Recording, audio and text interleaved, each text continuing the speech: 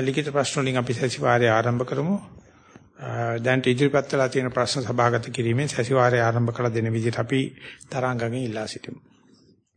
ස්වාමීන් වහන්සේ අද දින ලිඛිත ප්‍රශ්න 6ක් තියෙනවා. වාචික ප්‍රශ්න 1යි. ලිඛිත ප්‍රශ්න 6න් 5ක් භාවනා ගැටලු එකක් දහම් ගැටලු වශයෙන් තියෙනවා.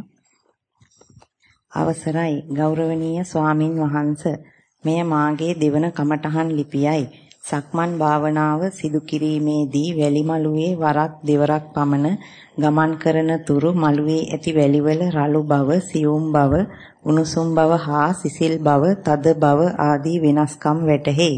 නමුත් තවදුරටත් සක්මන සිදු කරගෙන යාමේදී එවැනි වෙනස්කම් පිළිබඳ වැටහීමක් නැත. සක්මන් මළුව පසුපසට හා මා ඉදිරියට ඇදෙමින් ඇවිදින බව පමණක් වැටහේ. සක්මනෙහි වේගයද වැඩි වේ. ස්වයංක්‍රීයව ඇවිදින බව වැටහේ. මාගේ බලපෑමකින් තොරව එය සිදුවේ.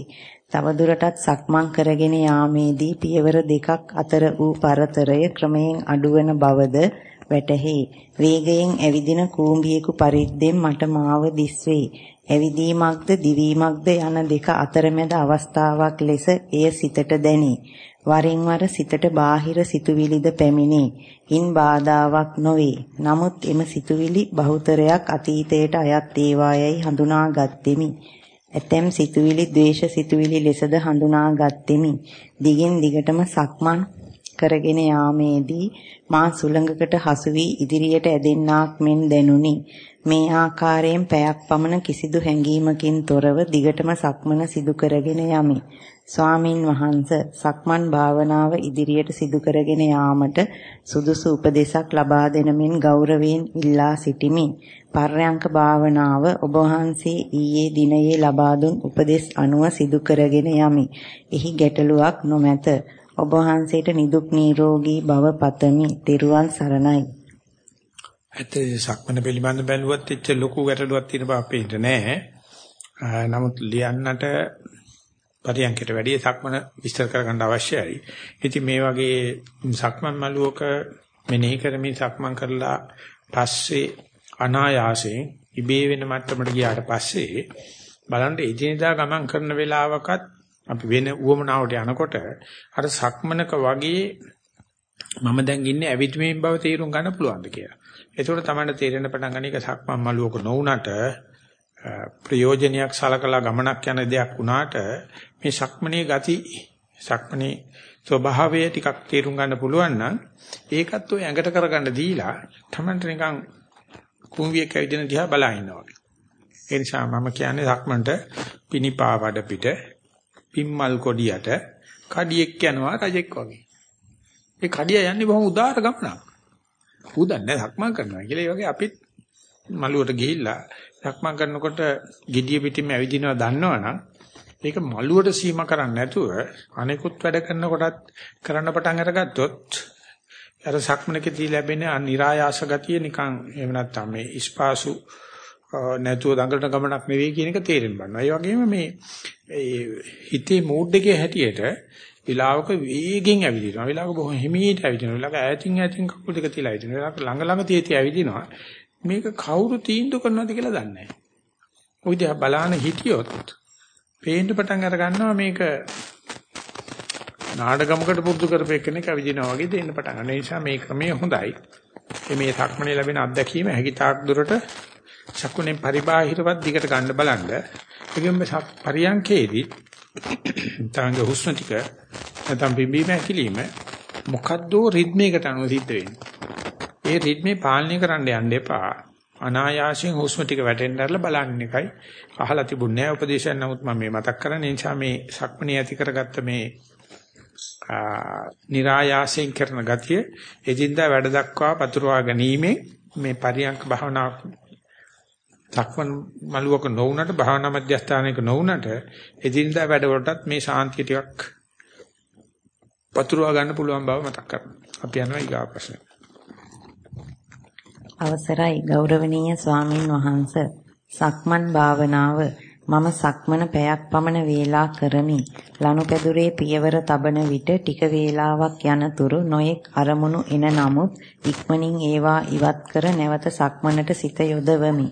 ලනුපෙදුරේ සක්මන් කරන විට එක පායක් පැත්තට තබා යන බැවින් ඒ වම් පාදයේ බව දැනගනිමි. අනෙක් පාදයේ දකුණ බව දැනගනිමි. දකුණු පාදයට ලනුපෙදුරේ ගොරෝසු බව වැඩිපුර දැනේ. අවසාන විනාඩි 15ක පමණ කාලය වේගයෙන් සක්මන් කරන බව දැනේ. පර්යංක භාවනාව ඊයේ සවස සක්මන් භාවනාවෙන් පසුව පර්යංක භාවනාවට හිඳ ගතිමි. මම දැන් මෙතන යයි සිතා ආනාපානයට සිහිය පිහිටුවීමි. ඊතා හොඳින් ආශ්වාසයේ නාසයට සිසිල්ව ඇතුල්වන සැටිත් උණුසුම්ව පිටව යන සැටිත් බලා සිටියෙමි. මෙසේ ටික වේලාවකින් ආශ්වාස ප්‍රශ්වාස නොදැනී කයේ කය සංසුන් විය. ඉන්පසු මොහොතකින් වගේ මගේ හිස වම් පැත්තට තදබල පහර කීපයක් වැදෙනවා දැනුනි. මගේ හිස පැත්තකට තල්ලු වී ගියේය. එය මට ඊටා වේදනාකාරී විය. මා සිතුවේ හිස් කබල පුපුරා ගිය ලෙසකි. කනට වැදුණු පහරින් කනින් ලේ පිටවන බවක් දැනුනි. හිසෙන්ද තනින් තන ලේ යන බවක් දැනුනි. ශරීරයේ උඩ කොටස උඩ කොටසද ගලක් මෙන් තද වී ආශ්වාස ප්‍රශ්වාස නැවතී ඇතැයි සිතුනි. මට දැඩි බියක් දැනුණ නමුත් පර්යංකෙන් නැගිටින්නේ නැතුව ඒ වේදනාව වින්දෙමි. ආයාසයෙන් තොරව ගැඹුරු ආස්වාස ප්‍රාස්වාසයකින් පසුව සැහැල්ලුවක් දැනුනි. මා භාවනාවට අරමුණු කළ කාලය පැයක් වුවත් නැවත පර්යංකයෙන් නැගිටින විට පැය එකහමාරක් ගත වී තිබුණ බැවින් පියවි සිහියේදී දැනගතිමි. භාවනාවේ ඉදිරි දියුණුවට උපදෙස් පතමි. තෙරුවන් සරණයි.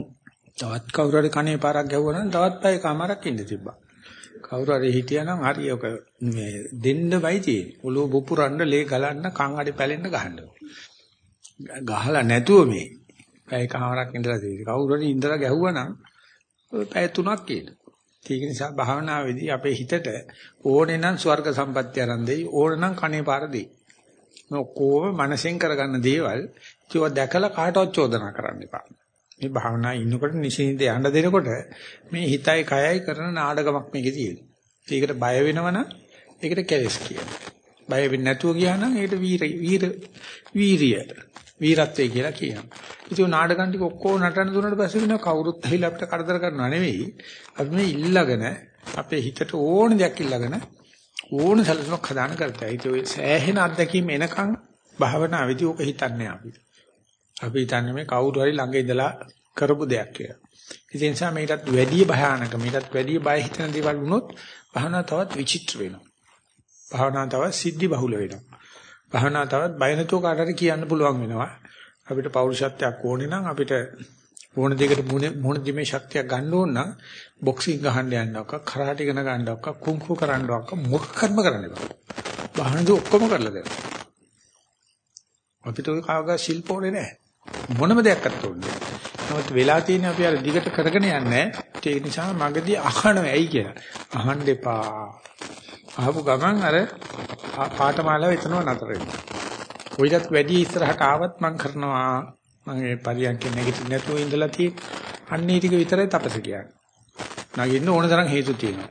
මම නැගිටින්නේ නැහැ. ඒකට කියනවා ඒක කාය මේ සීල ශික්ෂාව නෙවෙයි සීල ශික්ෂා කියන්නේ කාය වචන දෙකට අදාළ නෙවෙයි හිතෙන්ම කරන දෙයක්. ඔයිට වැඩිය මට කසවහර ගැව්වත්, කටු සැමිටියෙන් තැළුවත්, කන ඇඩි පුපුරලා ගියත්, ලේ ආවත් මම මේකේ ඉන්නවා කියලා ගිය දවසේ කියන්නේ නිකන් කට කතාවට මරණ වේදනාවත් මේ වගේ විඳගත්තු දවසට තමයි මූර්තේ තේරුම් ගත්තට පස්සේ තමයි අමූර්තේ තේරෙන්නේ. ඒක ලොකු සතුටක් එනවා. ඒක ඉවරෙච්ච ගමන් කන්දක් නැග්ගට පස්සේ පල්ලමක් වගේ ලොකු සතුටක් එනවා අපිට අර කොන්දපණ නැහැ. කන්ද ඒකට කියන මුදුන්පත් වෙනකන් ඉන්න. අපි මුදුන්පත් වෙන්න ඉස්සලා ගිය කන්ද දිගේ ආපහු බහි. එහා පැත්තට ගියා නම් බහින්න වෙන්නේ ජයග්‍රාහී විදියට. ඒ නිසා තවත් කනවා කණේ පාර වැදේවා කියලා කියන ඊගා ප්‍රශ්න. එහෙම කියනවා තේරෙනවද පොඩි කට්ටිය? ඈ? අවසරයි. ගෞරවනීය ස්වාමින් වහන්සේ ලබා දුන් කමඨහන් අනුව සක්මනට පසු පර්යංකයට පිවිසීමේ මුල් දෙදින තුල සිත විසිරෙන ස්වභාවය ඊටා වැඩි වශයෙන් පැවතුනද ආයාසයෙන් ඒ සිතුවිලි නතර කරන්නට උත්සාහ නොකර ඕනෑම සිතුවිල්ලකට එන්නටත් යන්නටත් හැර ඒ සිතුවිලි දෙස බලා සිටියා. හරියට gedara දොරකඩ සිට ගේට්ටුව දෙස බලා සිටින විට නිවසට ඇතුල් වෙන්න යන සොරෙකු මගහැර යන්නාසේ ඒ සිතුවිලි ඇතුල් වෙන ප්‍රමාණය ඊතා අඩු වී විටක නැතිවම ගියා. එවිට ආනාපාන සතිය ආරම්භ කර පවත්වාගෙන යාමේදී ආශ්වාසයේ වමෙනුත් ප්‍රශ්වාසයේ දකුණු නාසිකාවෙනුත් සිදුවන බව දැනුණා. ගන්නා හුස්ම සීතලට උගුරහරහා ඇතුල්වන ආකාරයත් පිටවන හුස්ම මද උණුසුම් ස්වභාවයකිනුත් දැනුණා. ටික වේලාවකදී දැනී ගියා ආස්වාස ප්‍රස්වාස ක්‍රියාවලියේදී උර කුහරය උදරයට අමතරව දෙපා මත තැබූ අත් දෙකද ඊට අනුරූපව රිද්මයානුකූලව චලනය වන බව. ගන්නා හුස්ම දීර්ඝව ගත්තද ප්‍රස්වාසයේ ඊතා ඉක්මනින් සිදුවන බවද අද්දුටුවා. නමුත් විනාඩි 15කට වඩා කාලයක් එසේ සිටීමට නොහැකිය. නැවත අරමුණු කරා සිත දුවන බව වැටහෙනවා. කාලය වැඩි කරමින් ආනාපාන සතිය තවදුරටත් දියුණු කර ගැනීමට අවශ්‍ය පිළිවෙතක් ඇතනම් කියා දෙනමින් ඊතා යටහත් පහත්ව ඉල්ලා සිටිමි. ස්වාමින් වහන්සේ උතුම් නිවනින් සැනසෙත්වා. දැන් ওই පැනලා තියෙන්නේ අමාරු කොටස. ඒ කියන්නේ බැරිම කෙනා ටිකක් වෙලා ඉන්න හදලා තියෙනවා. ඕක ඉක්මන් කරන්න හදන එකත් ওই ගමන්ට බාධායි. ওই විදිහටම කරගෙන කරගෙන ඉන්නකොට අර සබකෝල ඇරිලා සභාවකට ගිහිල්ලා කතා කරන්න පුරුදු වෙනකොට වගේ පළවෙනි විනාඩි පහ විතරයි අමාරු. එලාදී උකුරකට වේදනා දනිස් පොල් කටු ගැහෙනවා. ඊට පස්සේ ඊලා ගියාට පස්සේ ඕක ගාණක් නැහැ. ඒ නිසා මේ බුදුරජාන් වහන්සේ අපිට මතක් කරන්නේ සබකෝලේ තියාගෙන මැරෙන්න යන්න එපා, නාකි වෙන්න එපා, ලෙඩ වෙන්න යන්න එපා. ලෙඩ වෙන්න ඉස්සෙල්ලා නාකි වෙන්න ඉස්සෙල්ලා සබකෝලේ අරගන්නයි කියලා. ඉතින් අර අරන වෙලාවේදී ලෝක ජනගහන 110කටවත් ඒක කරන්න බෑ. ඒගොල්ලන්ට නිකම්ම තියෙනවා මේ කෝල ගති සහ කෝඩු ගති කියලා જાතියක්. ඉතින් මේකේ අමාරුම දේ තමයි මේ වැඩමුළු වලින් ලොකු දෙයක් බලාපොරොත්තු වෙනවා. බලාපොරොත්තු වෙන්නේ බය නැතුව වැඩමුළුවකට එන්න. වැඩමුළුවට ඇවිල්ලා වාර්තා කරන්න. වැඩමුළුවට ඇවිල්ලා බණකට වාඩි වෙන්න. පරියන්කයට වාඩි වෙන්න. සක්මන් කරනකොට මහා ලොකු බය වෙන්න දෙයක් නැහැ. ඊට පස්සේ පළවෙනි වාර්තාව දෙනකමුත් ටාර්ගට් එක කෙල්ලෙකුට පළවෙනි ලව් ලෙටර් එක දෙන වෙලාවක. හරි අමාරුයි. ඔක අහුනොත් එහෙම ලොකු සර්ට් එහෙම වැඩේ කො පව් වෙනකොට ගාලල්ල. ඔය කට්ටිය අහගෙන ඉන්න බෑ හරිද? ඒ වගේ මේකෙදි ඉක්මන් කරන්න හදන ගතිය එච්චර සුදුසු නෑ. දැන් ওই යන ක්‍රමේ තමයි ක්‍රමේ. ඕක දිගට කරන්න අපි දවස් 10 වැඩමුළු හදන්නේ. දැන් අපි දවස් 4 වෙනි දවස් තියෙන දවස් 6ක් තියෙනවා. අපිට මේ ගානටම තියාගෙන යන්න පුළුවන් කියලා බලන්න. ඒක තියාගෙන ගියාට බුදුරජාණන්සේ සඳහන් කරන අපිට එක වගේ පෙන්වන්නට පුදුමාකාර දියුණුවක් ඇති වෙනවා. ඒ දියුණුවේ කැපිපේන වෙනස ඇති වෙන්නේ මේ Taman අත්දකින්නේ ලියන්න පුළුවන්කමෙන්. විකාර ලියන එක නෙවෙයි අදාළ දේ මෙහෙම ලියනකොට අනිදාස් වෙන මේක තිබුණා කියා ගන්න බැරිකම තියෙනවා. දැන් තියෙනවා ඒකේ මේ වෙලාවෙදීමත් අගේ කිරීමක් වෙනවා. ඊට පස්සේ ප්‍රකාශ කිරීමෙන් කමඨාන වාර්තා ලිවීමෙන් අනිදාසේ යන්නෙම උත්ප්‍රේරණය වෙච්ච මනසකින් උද්‍යෝගිවත් වෙච්ච මනසයි මුලින්ද හදන්න දෙයක් නැහැ. ඒ නිසා මේ ක්‍රමේ අමාරු හරියයි මේ පැනලා තියෙන්නේ. ඉතිරි ටිකේදී කරන්න තියෙන මේක සතත අභ්‍යාසය. එහෙම නැත්නම් නිති නිත්‍ය භාවනාව නැත්නම් නිතිපතා භාවනා කිරීම විතරයි මේකට උත්තරේ. ඉතින් ඒකට අමතර කාරණාවක් කියනවා කියද හැකි හිතයි කයයි ලෙඩ කරගන්න එපා. මේ අනුන්ගේ ප්‍රශ්න අහගෙන ඉඳලා එහෙම නැත්නම් අනවශ්‍ය දේවල් කරන්න කියලා ලෙඩ කරගන්න එපා. මේ විචල්්‍ය සාධක හැලහැප්පුණොත් ගමන යන්නේ නැහැ. ඒකට කය හොඳට අරසා කරලා දෙන්න ඕනේ. සෞඛ්‍ය අරසා කරලා දෙන්න ඕනේ. මනස අරසා කරලා දෙන්න ඕනේ. දීලා යන්න අරන එකයි තියෙන්නේ. ගෞරවනීය ස්වාමින් වහන්සේ මම මේ භාවනා වැඩසටහනට ආදුනිකයෙක් වෙමි. පර්යංක භාවනාව මූල කර්මස්ථානයේ උදරයේ ප්‍රදේශයේ පිම්බීම හා හැකිලිම හැකිලීමෙන් දැනේ. එය එක සමාන වේගයකින් සිදුවන බව පැහැදිලි වේ. හුස්ම ඇතුළු වන විට පිම්බීමත් හුස්ම පිටවන විට හැකිලීමත් සිදුවන බව දැනේ. භාවනාවේ යෙදෙන අතර බාහිර පරිසරයේ ශබ්ද ඇසීම් ගඳ සුවඳ දැනීම ආදිය විවිධාකාරයෙන් සිදුවන විට මුලදී ඊට බාධා ඇතිවීම හේතුවෙන් දිගටම කරගෙන යාමට නොහැකි උවත් විනාඩි 20කට පමණ පසු ඒවා ගැන නොසිතා දිගටම කරගෙන යාමට හැකිවිය. මුළු පර්යංක කාලයම මෙලෙස ගත කිරීමට හැකිවිය. සක්මන් භාවනාව මාගේ මාගේ දකුණු පාදයේ ගල් තැලුමක් තිබෙන නිසා වම දකුණ ලෙස පාද තබා සක්මන් කිරීමට ලනුපැදුරේ අසීරුය. වැලි පොළවේ තරමක් පහසු නමුත් සිමෙන්ති පොළවේදී ගැටලුවක් නොමැති නිසා සක්මන් කිරීම සඳහා මම එය තෝරා ගතිමි.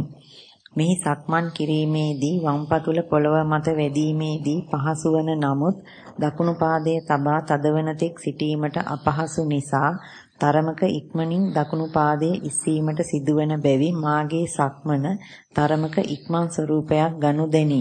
එසේ දිස් උවද සෙමින් සක්මන් භාවනාව කරන්නෙමි. මේ නිසා මට වම දකුණ හඳුනා ගැනීම ඉතා පහසුය. අන්න වැඩි. මටත් ආසයි අනික් කවුරුත් ගල් තලුමක් එනවනේ. මේ නැත්නම් මේ ඔක්කොටම එක එක කවුරුට ගල් තලුම ගල් තලුම දෙන්න පුළුවන් නම් ආයෙ කියන එකක් නැහැ. වම මොකද්ද දකුණ මොකද්ද කියලා. නැත්තම් අර බිම්බිසාර රජුගේ පළල ලුණු දාන්න ඕනේ එක් කකුල. ඒකට කියයි ඒක නම් කපපු කකුල අනික කකුල නිකන් කකුල කියලා. යන්නම් පෙර එදාතල පුරුදු කරනකොට left right කියලා එක් කකුලක ලේසුවක් බඳිනවා. ලේන්සු කකුල නිකන් කකුල ලේන්සු කකුල නිකන් කකුල ලේන්සු කකුල නිකන් කකුල කියලා පුරුදු කරේ. ඉතින් ඒ වගේ කල්තලුමුගේ තියෙන වාසිය. අවට පරිසරයේ බාධක ඇති වුවද මීට ඊතරම් බාධාවක් වී නොමැත. විනාඩි 30ක් 30කට 40කට පමණ පසු සක්මන යන්ත්‍රානුසාරයෙන් මෙන් සිදුවන බව දැනි. පාදයේ වේදනා නොදැනි. ඒ හැරුණු විට ඉදිරියට බැඳි දෑත්වල ඇඟිලි හිරිවැටි ඇති බවද උරහිස්වල තරමක වේදනාවක් දැනෙන බවද පැහැදිලි වේ. මාගේ භාවනා ක්‍රමය නිසි ලෙස ඉදිරියට පවත්වාගෙන යාමට ඔබ වහන්සේගෙන් උපදෙස් පතමි. යෝගාවචරයන්ට නිවන් සුව අත්පත් කර ගැනීමේ මාර්ගය පෙන්වා දෙන ඔබ වහන්සේ එම සත්කාර්ය සඳහා চিරාත් කාලයක් ඉහෙන් වැජබේවායි ප්‍රාර්ථනා කරමි. මාත් කියනවා ගල් තැලුමනේ চিරාත් කාලය වැජබේවා කියලා. එතකොට සක්මන් කරනකොට හොඳට තේරෙනවා කොයි වෙලාවක හරි මතක තියාගන්න මේ විදිහට කකුල තියන්න තියලා තද කරන්න බය වෙච්ච කකුලක් අන්තිමට වේදනාව නොදැනෙන මෙට්ටමට යනවා කියන්නේ ගල් තැලුමට බේත ඔච්චර තමයි. මොන වෙන බේතක් කෙරුවත් අපි බයින් කරන්නේ. දැන් නෑ ගල් තැලුම තීටි ඇවිදිනවා. ඇයිදලා බලන්න යනකොට ඉස්සලා ඉස්සලා කකුල ඒ කියන්නේ කකුල හොර වෙනවා කියලා ඔකට කියන්නේ. හොර වෙනවා කකුල තියන්න බෑ. මම අන්තිමට යනකොට ගල් තැලුම කකුල නිකන් කකුල තේරෙන්නේ නැති මට්ටමට යනවා. ඒ නිසා මේ බුදුරජාණන් වහන්සේ අඳුරලා දීලා තියෙන මේ සක්මන් ක්‍රමය ජනතාවගේ සෞඛ්‍ය පිණිසයි අඳුරලා දීලා තියෙන්නේ. ඉතින් මේගොල්ලෝ කියනවා කොන්දේ අමාරුයි කකුලේ අමාරුයි සක්මන් කරන්න බෑ කියලා. ඒකට තමයි යකෝ සක්මන් කරන්න කියන්නේ කියලා කියන්නේ. ඒකෙම සක්මන් කරන්න. සක්මන්ට උගැරලා යනවා. ඒ නිසා දැන් ඊට පස්සේ කියනවා උරිස් දෙක පල්ලයට බර වෙනවා තේරෙනවා. රිදෙනවා මේ සීරම සතියේ ප්‍රතිඵලනේ.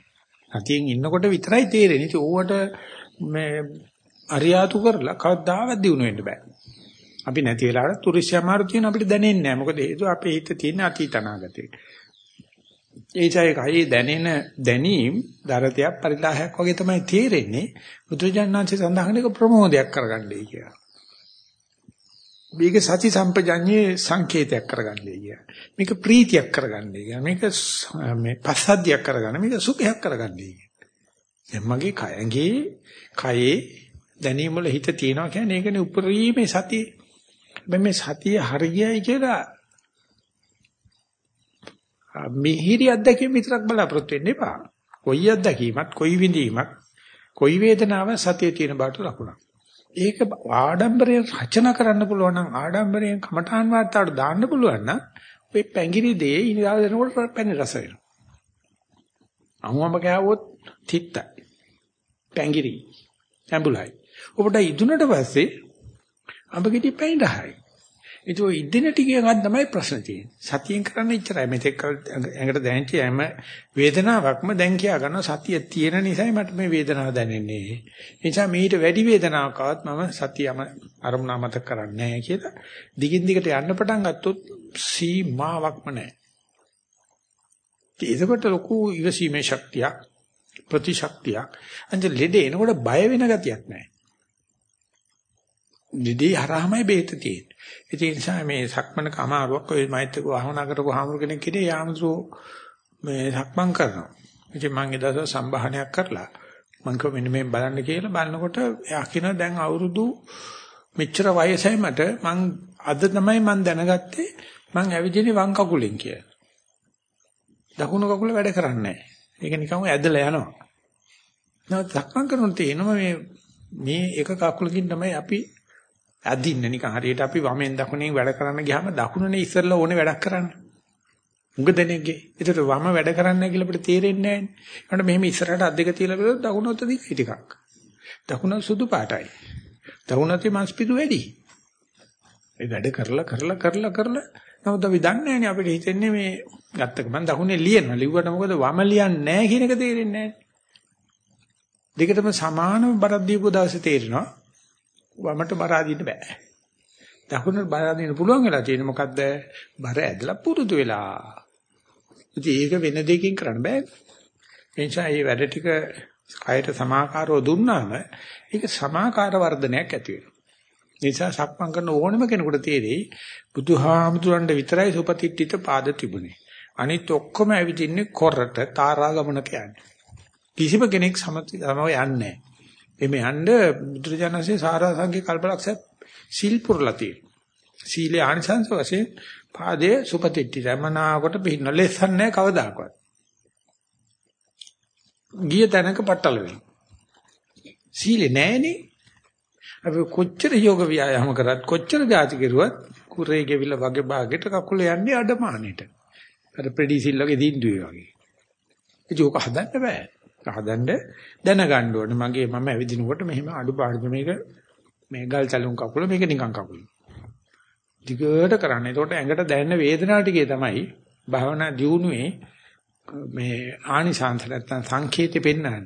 ඒක ලියා ගන්න දන්නේ නැතිකමයි තියෙන්නේ. අපි ඒක ලියන්නේ හරියාදුවට. අපි ඒක ලියන්නේ පැංගිටි කරලා. තිත්ත කරලා. ඒක පැණි රහ කරලා ලියන්නේ. මට මෙච්චර වේදනාව තීජිත් මට ඇවිදින්න පුළුවන් වුණා.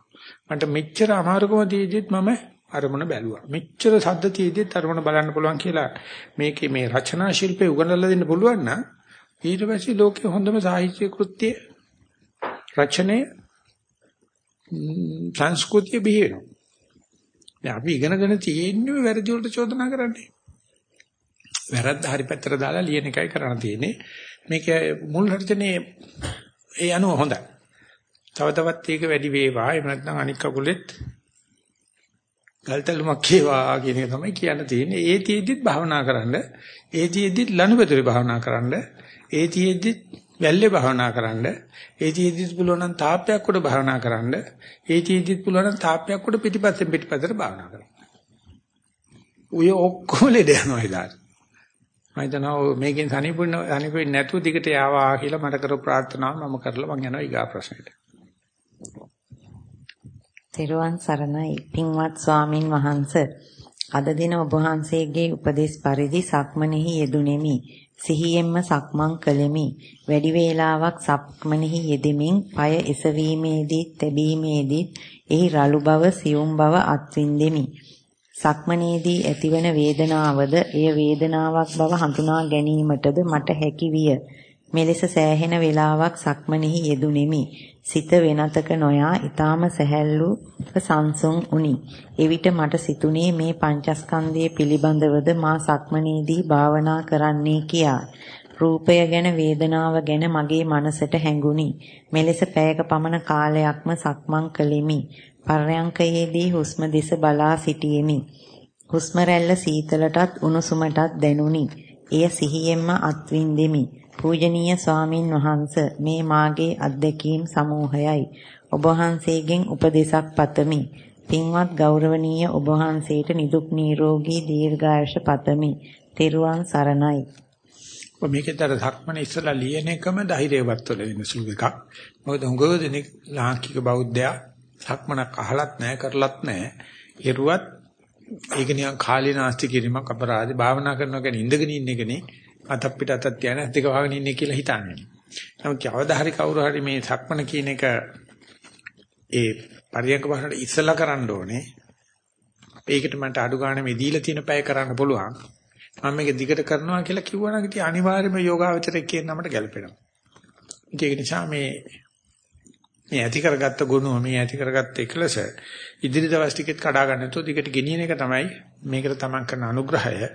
ඒකට පරිසරය සකස් කිරීම අමාරුයි. ඒක ලීසි නෑ. ඒක අහන්න වැඩමුළු සංවිධානය කරන කෙනාගේ ඊට පස්සේ ගත්ත මේ එකලස ආරස්සා කරනවා කියන එක ඊට අමාරුයි. උපයගත් දේ රකින්න එක. ඒ නිසා ඒක රැකීම සඳහා හොඳට හික්මිලා මේ කරපු දේම දිගට සද්ධාවෙන් කරගෙන යන්න කියලා කියන්නේ. අවසන් ලිඛිත ප්‍රශ්නය ස්වාමින් වහන්සේ තෙරුවන් සරණයි. ගරුතර ස්වාමින් වහන්ස භාවනා කරන යෝගියෙක් වරහන් තුල මාර්ගඵල නොලැබූ නමුත් යම්තාක් දුරට භාවනා කළ අයෙකු මරණාසන්න අවස්ථාවේදී ඔහු කළ භාවනාව ඔහුට කෙසේ බලපායිද? නැතහොත් ඔහුට අවසන් මොහොතේ භාවනාව කෙසේ උපකාර වේද? ප්‍රශ්නෙහි වරදක් ඇතොත් සමාවන සේක්වා. ඔබ වහන්සේට තෙරුවන් සරණයි. ඔය මේ ප්‍රශ්න නම් එච්චර අදාළ නැහැ. නමුත් උත්තරයක් කියන්න පුළුවන්. තමන්ගේ හුස්ම රැල්ල ගෙවි ගෙවි ගෙවි ගෙවි අනේක හොඳට හුරු කරගත්ත කෙනෙකුට අනිත් දවසේ හුස්ම ටික ගෙවෙනකොට කොච්චරක් ලෑස්තිලා ඉන්න පුළුවන්. එහෙම නැත්නම් හිතා ගන්න මේ හොඳට දැක දැක දන දන හුස්මේ සියුම් වීම මරණයේ අත්දැකීමක් කියලා. එහෙම නැත්නම් මරණය මරණය පිළිබඳව මොකක්ද කියන්නේ රිහර්සල් කරනවා. එහෙම නැත්නම් පෙරහුරුවක් කියලා කියන්නේ. පෙරහුරු කරන එකයි බුදු ඥානසේ කරන්නේ. මරණයට වෙන්නේ ඕක තමයි. හුස්ම ටික එන්නේ එන්නේ එන්නේ ගෙවෙනවා. ඉතින් ඒක දිහා මම දැන් භාවනා කරපු කෙනෙකුට ඒක හොඳට පේනවනේ දැන් මේ කෙලස් ගෙවිල්ලක් සිද්ධ වෙන්නේ මොකුත් කලබලයක් නැහැ කියලා. නමුත් පුරුදු නැති කෙනෙකුට දැන් තව ටිකකින් වැඩේ කියලා වෙනවා. ඒකට බය වෙනවා. බය වෙලා අන්තිම වෙනකොට කොරස් කටිවත් අද්දා ගන්න බැරුව දැඟලිල්ලනේ වෙන්නේ. ඒ නිසා හොඳට හැමදාම භාවනාවේදී ඒ අරමුණක් ගෙවෙන හැටි සද්දයක් ඇහිලා ගෙවෙන හැටි, වේදනාවක් ඇහිලා ගෙවෙන හැටි, අන්තිමට ගිහිල්ලා ඉවර වෙලා සතිය ගෙවෙන හැටි දැකගත්ත දවසේ හිතාගන්න. මේ මේක දිහා බලන්න සතිය නැති වෙලා යනවා. මේ ඔක්කොම කරලා අපි සතිපට්ඨානේ වඩන්නේ. වෙලාවක පේනවා දැන දැන දැක දැක දැන් සතිය නැති වෙලා යනවා. ඒක යෝගාවචරය හිතන්නේ කොම්පැනි බංකොලොත් තුනා වගේ කියන්නේ. ඒක අනිත්‍යයට ලක් වෙන දෙයක්. මේ කරගෙන කරගෙන යනකොට මරණ එක එනකම් බලනින්දී දැන් මෙතෙක් කරපු දේවල් වලට වැඩිය මොනවද අමතක අමතරට මරණයේදී සිද්ධ වෙන්නේ කියන්නේ වෙන්න දෙයක් නැහැ.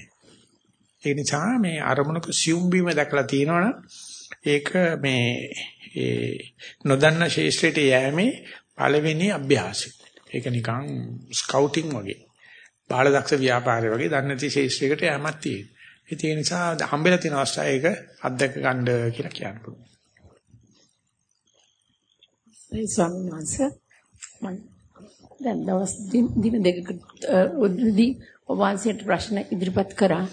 මම සක්මන් භාවනාවේදී සක්මන කරගෙන යනකොට ජීවිතේ කවදාවත් නොවන විදිහට වේදනාවල් ඇවිල්ලා මම ඒ තුල සිත පවත්නකොට ඒක නැතිවිලා ගියා.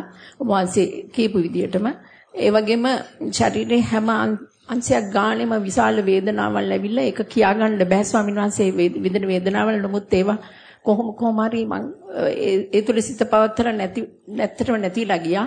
ඉතින් නැවත නැවත කොච්චර පරියන්කේ වාඩි වුණත් ඒ දෙයම සිද්ධ වෙනවා ස්වාමින් වහන්සේ. අර ශාරීරික කුඩු වෙන සම්පූර්ණ කටු වේදනාව ඉවසන්න බෑ ස්වාමින් වහන්සේ. ඒ ඒ දෙයම සිද්ධ වෙනවා. නමුත් හිතන්න හිතන්න ඒ දේ නැති වෙන්නේ නැහැ මම නැවතත් සක්මන්ට යනවා. වහන්සේගෙන් මම ඉල්ලන්නේ කොහොමද නැවතත් ඒක නැති කරගන්න කොච්චර ඉඳගත්තත් ඒ දෙයමයි සිද්ධ වෙන්නේ අපි අන්තිමට. මේ චක්‍රය තමයි අපි කොච්චර ලස්සන භෝජන සංග්‍රහය කියලා බඩ බත් පිරෙන බඩ පිරෙන බත් කෑවත් තව පැය 6කින් බඩගිනි වෙනවා. අපි ලස්සන සෙල්ලම් දාලා තෙලින් බැදලා කිරෙන් අත හොදාගෙන වර්ණ දාලා බඩ පිරෙන්න කෑවට ආය එනවා. හොඳට හුස්මක් කරගෙන බලන්න ටික වෙලාවකදී ආය හුස්මක් ගන්න හිතෙනවා. දෙන්න තියෙන ඕන රසමසුලක් බීලා බලන්න තව ටිකක් ආයෙත් ඉබාසේ එනවා. ඉතින් මේක තමයි ඊගාවාත්මයටත් හම්බෙන්නේ. මේක තමයි ඉස්සරහටත් හම්බෙන්නේ. ඒ නිසා අපි කොයි වෙලාවෙත් ඉන්නේ වේදනා සාගරයක පතුලේ. ඒක ස්වභාවය කියලා හිතනවනේ. ස්වභාවය නෙමෙයි. ඒකට උත්තර හොයන්න එපා. භවය කියලා පිළිගත්තා නම් ජීවිතය කියලා පිළිගත්තා නම් සත්‍යය කියලා පිළිගත්තා නම් ඕක තමයි හම්බ වෙන්නේ. ඉතින් ඕක ඕකට වෙනස් උත්තරයක් ඇති කියලානේ අපි හොයන්නේ පරිේෂණ කරන්නේ. මොන පරිේෂණය කරත් ඕක ලක්ෂ කෝටි වාරයක් වුණාට පස්සේ නෝක උනාට මොකුත් වෙන්නේ කියලා කාගෙන් උත්තර ලබන්නද? අර තමන් හීනමානයට ලක් වෙන එක විතරයි වෙන්නේ. දැනටමත් ඕක විඳලා තියෙනවා, විඳෙන්නත් වෙනවා, විඳිමිනුත් ඉන්නවා. දැන් අපි ඉල්ලන්නේ අර කමරාල මේ දැක්කලු හිඟන්නේක් එනවා. මා බැදුරක් ඇඳගෙන. මිනිහ දන්නවලු ෂුවර් එන්නේ රෙද්දක් කියලා මාගලක් කරනගෙන එළියට බැත්තා. ඊට පස්සේ කිව්වලු අනේ ගම මහත්යෝ ඇඳුමක් නැහැ. ඉතින් උඹට අඩුවන්නේ පැදුරක්වත් තියෙනවා මට පැදුරක්වත් නැහැ මම මේ මාගලක් කරනගෙන ඉන්නේ කිව්වලු. ඉතින් අර මාසට කායින් ඉල්ලන්නේ. අපි හිතනවා මේ අපේ තියෙන කැක්කමට වේදනාවට දොස්තරලා ගාව බෙහෙත් තියෙයි. එහෙම නැත්නම් මේ ගුඩ විද්‍යාව කරන කට්ටිය අපිට අංජනමක් ගෙනත් දෙයි. එහෙනම් කවුරු හරි ආශිර්වාද කරපන් හරි කියලා වෙන්නේ නැහැ. ඒ මොකක්වත් නැහැ. ඔය විවසපන් පපුව වතු ටික ගාගෙන කාටවත් කියන්න බෑ ලැජ්ජයි. ලැජ්ජයි බුද්ධ පුත්‍රයෙකුට. ලැජ්ජයි බුද්ධ සුහිත්‍රිකාවට කවුද දෙන්නේ බුදුහාමර එහෙමනම් ඉතින් ඔය ප්‍රියම්බිකාව යසෝදරාට දෙනවනේ ඔය බේත. එහෙම නැත්නම් රාහුල කුමාරට දෙන පවුනේ අප හත් අවුරුදු ඉඳලා පැවිදි කරපු දෙන්න දෙයක් නැහැ විඳපන්. විඳලා තීරුම් ගනින්. ඔකට අඬහව ගන්න එපා. කාටවත් චරචුරු ගන්න එපා. ගේමට කැතයි. ගේමට කැතයි කියලා කියන්නේ. කාගෙන ඵලයන් ඔච්චර කෑවත් නොකෑව වගේ සතුටින් ඉන්නවා. ඌට වැඩි දුකක් ආවත් කාගෙන ඉන්නවා. ඒක මදි. ඒකට කාටද කියලා දෙන්න ඕනේ ඒක. මැරෙන්න ඉස්සලා කියලා දෙන්න ඕනේ ඔය නිකා මොනම දෙයකට හම්බ නැහැ එකයි තියෙන ඉවසපන් පපුව. ඒක කියලා දෙන්න මැරෙන්න. මැරෙන්න ඉස්සලා එක්කිනුටත් අඩුවන්නේ කියලා දෙන්න. මේ ලෝකේ සුඛෝපභෝගී වස්තු වලත් ඔය මේ සමීකරණ වලවත් කිසිම තැනකට ඔකට උත්තරයක් නැහැ. මුළු ටිකටම තියෙන ශරීරයේ දුක. භාවනා කරනකොට ඒක වැඩි වෙනවා. වැඩි වෙන්න හේතුව තුවාලෙට බේත් දාන්න ඉස්සෙල්ලා තුවාලෙ සුද්ධ කරනකොට රිදෙනවා වගේ වන්නමුකේ පාදපුවාම හුලං වැදුනත් රිදෙනවා. ඉතින් බෙහෙත් නැතුව වෙදකම් කරන්න බෑනේ. ඒ නිසා බුදුරජාණන්සේ වනමුකේ පාදනවා. පෑදුවට පස්සේ අපි සාමාන්‍යයෙන් විනෝදාන්තක ඉන්නා වගේ එහෙම නැහැ. කයේ තියෙන පුංචි පුංචි හැම වේදනාවක් දැනෙන්න පටන් ගන්නවා. ඒක භාවනාවේ ප්‍රතිඵලයක්. උග්‍ර වේදනාව දැනෙනවා නම් භාවනාව හොඳටම උග්‍රයි. හොඳටම දියුණු වෙලා තියෙන්නේ. ඒත් ඉවසනවා.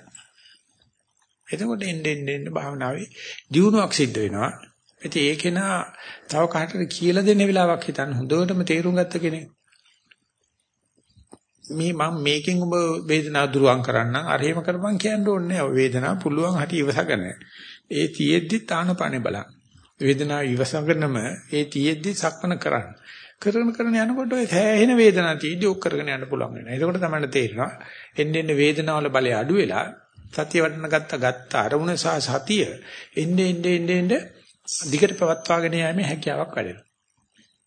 ඒක අගය කරන්න ඕන. අපි කමඨාන් සුද්ධ කරනකොට ඒක තමයි අගය කරන්නේ. දැන් තව විනාඩි 15ක් තියෙනවා. කාට හරි වෙන සභාවට ප්‍රශ්න ඉදිරිපත් කරන්න තියෙනවා නම් හෝ මම ප්‍රකාශ කරපු දේවල් පිළිබඳව මතිමතාන්තර තියෙනවා නම් හෝ අවසරයි ස්වාමීන් වහන්සේ එතකොට දැන් අපිට තදට වේදනාව දැනෙනකොට ආනාපාන සතියට වඩා වේදනාවට හිත යනවා. එතකොට අපි මොකද්ද කරන්න ඕන කියලා දැනගන්න කැමතියි සමහස. ඔව් එතකොට ප්‍රශ්නේ මොකද්ද? දැනගන්න කැමති විතර ආනාපාන සතියේම හිත යොදවන වේදනාවට සිත වැඩි යන වෙලාවට මොකද්ද කරන්න ඕන කියලා. ඔව් එතකොට මේ විදිහට අරමුණක් තියෙනවා. ඒ කියන්නේ සාමාන්‍ය ආනපන තියෙනවා. ඒකට පුංචි චුප්න වේදනා නැගලා නැගලා නැගලා නැගලා ආනපන ඉක්මවගෙන යනවා. ඉක්මවගෙන ගියාට පස්සේ දැන් යෝගාවචර තීන්දුවක් කරන්න එපායි. මොකද්ද මෙනෙහි කරන්නේ? මොකටද මනස්කාරය යොදන්නේ කියලා. දැන් ආනපනට වැඩිය අඩුව වේදනාව තියෙන වෙලාවෙ නම් ප්‍රශ්නයක් නැහැ. අපි දන්නවා මේ වෙලාවට ආනපනේ සරණ ගිහිල්ලා කරන්න. දැන් ආනපනේ වේදනාවේ සම සම එනවනේ. එතෙන්දිත් කියනවා භාවනා ගුරුවරු ආනපානෙට මුල් දැන දීගෙන යන්න. ඊට වැඩි ඉක්මවල ගියාට පස්සේ බලන්න දැන් අපිට අවස්ථාවක් දෙන්න වේදනාව හිත පැහැර ගන්නවනේ. හැබැයි යා දන්නවා ඒකට අවස්ථා දෙකක් පැනලා තියෙන්නේ. ආනපණ්ඩ අඩු වේදනා තියෙන අවස්ථාව ආනපණ්ඩ සමසම වේදනා තියෙන අවස්ථාව ඊට පස්සේ දැන් වේදනාව විලා හිත පැහැර ගත්තට පස්සේ ප්‍රශ්නයක් අහන්න දෙයක් නැහැ නේද? දැන් මොකද්ද ප්‍රශ්නේ වෙන්නේ? ඒකට ආනපන සතියේ සිත යොදාගන්නේ කොහොමද? කරන්න බෑනේ දැන් ඉතින් මේක හිත අරගෙන ගිහිල්ලා අරකට. වේදනාවට. එතකොට පැමිණි දුක් පැනිරහයි කියලා වේදනාව මෙනෙහි කරනවා. එනිසා මෙනෙහි නොකර හෝ වේදනාව දැනගන්න. දැනගන්න දැන වේදනාව අපේ හිත පැහැරගෙන ඉවරයි. නමුත් පුරුදු වුණාට පස්සේ තේරෙයි අර වේදනාව සහ සමසමව තිනකොට වගේ උග්‍ර වේදනාව තිනකොට තානපන්නේ නැත්තෙම නෑ. තියෙනවා. ඒක හරියට වේදනාව කියන්නේ බිත්තියක් නෙවෙයි දැලක් වගේ එකක්. ඇහි දැල් තියෙනවා. ඒක අස්සෙන් පේනවා වරින් වර. වේදනාව මේ ආනපනේ නතර කරලා බෑ නතර කරන්න මැරෙන්න එපායි. මැරිලා නැහැ. මේ වේදනාව උග්‍ර නිසා ආනපානේ නීච අවස්ථාවටපත් වෙලා වේදනාව ප්‍රබල වෙලා තියෙනවා. හැබැයි එතකොට යෝගාවචර දන්නවා ඉතිහාසයේ මේක සිද්ධ වෙලා තියෙන හම්බයක් නෙවෙයි ටික ටික ටික ටික වුණ වේදනාව වැඩි වෙලා අවිල්ල තියෙනවා. එnde end වෙන්නේ මොකද්ද මේ වගේ ඉවසා දරාගෙන ඉන්න පුළුවන් වේදනාව වැඩි වෙන්න වැඩි වෙන්න පටන් ගන්නවා. ඒ තියේදිත් අපිට සෑහෙන දුරට ආනාපානයත් එක්ක සතියත් එක්ක ගත කරන්න පුළුවන් ශක්තිය වැඩෙනවා. ඒක බුදුරජාණන්සේ දේශනා කරන යෝගාවචරයට තේරෙන්නේ නැහැ කියලා. මේ ඊතර ඇත්තටම සතිය වැඩිවීමක් වෙනවද? ඉතින් ඇත්තටම යම් වේදනාවක් තියදී ආනාපාන බැලීමේ කලාව දිනු වෙනවද කියලා යෝගාචරයට තේරෙන්නේ නැහැ. හැබැයි නැවත නැවත කරනකොට ඒක වෙන බවට බුදුහාමුදුරෝ අපිට සාක්ෂි ඒ නිසා මේ මේ මට්ටමේදී තේරෙනවා මගේ භාවනාව කොච්චර දියුණු වෙලා තියෙනවද කියලා. වැඩි වේදනාවක් තියදී ආනාපාන බලන්න පුළුවන් නම් අඩු වේදනාවක් තියදී බලනකොට වැඩි සතියක් අවශ්‍යයි. ඒ නිසා දැන් ඉන්නේ හරියට එකට එක කිටි කිටිය තද වෙලා ওই විදිහේ දිගට කරනකොට කරනකොට අපේ පෞරුෂත්වය වැඩි වීමක්, ඉවසීමේ ශක්තිය වැඩි වීමක් සහ ප්‍රතිශක්තිය වැඩි වීමක් සිදු වෙනවා. දුකට මුහුණ දීමේමයි ඒක සිද්ධ වෙන්නේ. ඒ නිසා මේකට නැවත නැවත මුහුණ දෙන එක තමයි කරන්න තියෙන්නේ. මේ පොඩි කට්ටිය කවුද සතිපාසලේ භාවනා කරන්නේ? සක්මන ගැන කියන්න පුළුවන්. අක්මන් කරනකොට මොනවද දැනෙන්නේ කියලා? කැමතිද? අර මයික් එක අරගෙන. එහෙම කියලා තියනවද? ඔය ඉතින් එහෙම කියලා තියනවද? ආ ඒ වගේ එකක් කියන්න බෑ. සක්මන් කරනකොට කොහොමද කරන්නේ කොහොමද වැටෙන්නේ කියලා? නාකි කට්ටියට පොඩි උල්ලව කියවපුවාම තිරියන් වෙනවා. එහෙම පොඩි ප්‍රශ්නක් තියෙන එකයි මම ඔය කියන්න හදන්නේ. කවුද කැමති හතර දෙනා අක්කා කැමතිද? සක්මන් කරන්න හැටි කියන්නකෝ. කොහොමද කොහොමද සක්මන් මොකද්ද සක්මන් භාවනා කියලා ඇහුවොත් පන්ති ඉන්න යාළුවෙක් හරි කොහොමද කියන්නේ? ඒ සක්මන් කියලා බෙන්ද හදලා තියෙන වීඩියෝ පිටිය බැලුවා. ඈ? එතකොට මේ උපදේශ පන්තියට හොංකන් දීලා තියෙනවද? කවුද කියලා දුන්නේ සක්මන්? ටීචර්. මේ කියන්නේ කොහොමද වාට කියලා දුන්නේ? පන්තියේදීද කොහෙදීද කියලා දුන්නේ? අපි විපස්සනා භාවනා මධ්‍යස්ථානයේදී සිල් සිල් අරගෙන අපිව ගෙනියනවා සීලවතී සෙන්නට එතනදී ටීචර් කියලා එතකොට කොහොමද දන්නේම නැති කෙනෙකුට කියලා දෙනකොට සක්මන් භාවනා කියන එක කොහොමද හඳුන්වා දෙන්නේ? කොහොමද සක්මන් භාව නැත්නම් මෙහෙම කිව්ව සක්මන් භාවනා ඉඳගෙන ඉන්න එකේ වෙනස මොකක් කියලාද කියන්නේ? ඇවිදීම ඇවිදීමෙන්? වෙනස. ආයත් කියන්නේ ඇවිදීමෙන් ඇවිදීමෙන් ඇවිදී ඇවිදීමට සිත යොමු කරනවා. ඒකට ඉඳගෙන ඉන්න එකේ ධක්මනේ වෙනස කොහොමද Taman දකින්නේ? ඉඳගෙන ඉන්නකොට සීය පිටවන කොටයි දැන මේ මේ හිත මේවන කොටයි ඇවිදිනකොට හිත මේවන කොටයි මොකද්ද වෙනස වශයෙන් දකින්නේ? වෙනසක් තේරෙනවද? එහෙමයි හඳුනන්නේ කියන්නේ පයට දැනෙන දේවල් තමයි ඒලාට දැනෙන්නේ. කියන්නේ ඉඳගෙන ඉනකොට පයට දැනෙන එකයි ඇවිදිනකොට පයට දැනෙන එකේ වෙනස මොකක්ද? ඇවිදිනකොට ඒ කියන්නේ ඒ බිමේ රළු රළු හෝ සිනිදු හෝ ඒ ස්වභාවය දැනෙනවා. ඉඳගෙන ඉන්නකොට එහෙම ස්වභාවයක් දැනෙන්නේ එතකොට ඉඳගෙන ඉන්නකොට දැනෙන තැනයි ඇවිදිනකොට දැනෙන තැනයි කකුලේ කොතන කොතනද? ඉඳගෙන ඉන්නකොට දැනෙන්නේ ඇවිදිනකොට දැනෙන්නේ අටිපතුලට. හරි ඒක දැන් කියුණා. ඒ වගේම ඉඳගෙන ඉනකොට කකුල් වල කොහාටද දැනෙන්නේ මොනවද දැනෙන්නේ? යටිපතුලට දැනෙන නැතුනට කකුලට දැනෙනවනේ. දැන් ඔහොම ඉඳගෙන ඉනකොට කකුල් දෙකෙන් ඉඳගෙන ඉන්නේ. කො මොනවද දැනෙන්නේ? සමහර වෙලාවට රිදෙනවා වගේ. කොතෙන්ද දැනෙන්නේ? පතුලට නෙවෙයි දැනෙන්නේ. ඒතර කකුල් දෙක ඉඳගෙන ඉන්නකොට දැනෙන දේ හොඳ හෝ නරක කොතෙන්ද දැනෙන්නේ? ඉඳගෙන ඉන්නකොට දැනෙන්නේ එකක් දණහිස් වෙනවා. දණහිස් වලට දැනෙනවා. එතකොට අපේ දැනෙන තැනත් වෙනස්. ඇවිදිනකොට දැනෙනවා දැනෙන්නේ පතුලේ. ඉඳගෙන ඉන්නකොට දැනෙනවා දැනෙන්නේ දණහිස් වල වලලු කරේ නැත්තම් කොතන හරි. ඒතර ඉඳගෙන ඉන්නකොට පොළවේ දේවල් තමයි දැනෙන්නේ. ඒ නිසා අපි නිතරම නලියනවා. ඇවිදිනකොට කකුලේ ගොරෝසු ගතිය දොර තියෙනවා. ඉතින් ওই දෙක විස්තර කෙරුවා නම් ඇවිදිනකොට මෙහෙමයි, සක්මන් කරනකොට මෙහෙමයි කියලා ආයසරයක් ඇවිදිනකොට ආයසරයක් ඉඳ ගන්නට ඊයේ දැක්කට වැඩිය ආයෙ කරුණු තොරතුරු හම්බ වෙනවා. ඉතින් ඒක තමයි අපි මේ නාකි ගොඩක් එකතු කරන පැයක් තියාගෙන ඕක තමයි අපි කරන්නේ. ඒතර ටෙලිවිෂන් බලනවා නෙවෙයි වෙන මොනවාරි කරනවා නෙවෙයි තමන්ගෙම කයනේ. තමන්ගෙම වැඩේ නේ කාටවත් නැහැ කියන්න බෑනේ. වත් කරලා තියෙනවද? ඔව් කියන්න බෑනේ අරගෙන කොහොමද කියලා මේ සක්මන් කරනකොට වැටෙන්නේ නැහැටි. ඔය මයික් එක ගන්න අදට. සක්මන් කරලා තියෙනවද? කොහෙද කරුවේ? සීලවතී සිවනේ. එතකොට කොහොමද දැන් අයියා කියපට වැඩි වෙනස මොකද්ද තේරෙන්නේ?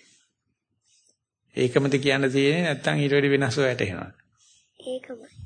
ඒ කොපි කරලා පන්තියේ ගියාම ඒව කොපි කරුවොත් ගහනවා ටීචර්. කොපි කරන්න දෙන්නේ නැහැ.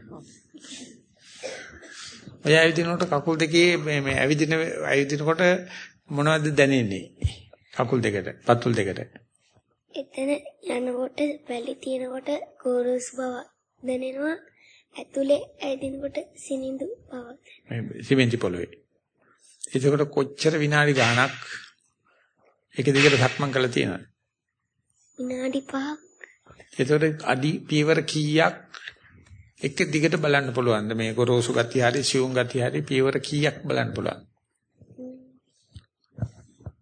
එහෙම බලලා නැද්ද?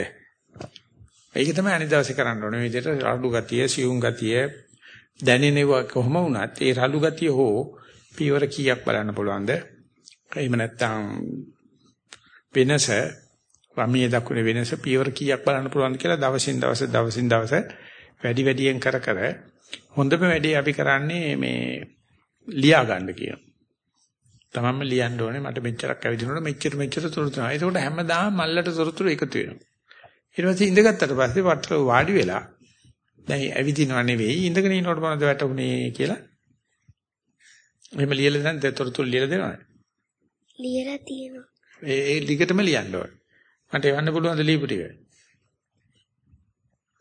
කොලේක ලියලා තියෙනවා. ඔව් කොලේක ලියලා දෙනවා. තැපල් ඇන්ලොප් එකට දැම්ම තැපල් කරා. ඒ නැත්තම් ඊමේල් කෙරුවා. කොහොමද එවන්නේ?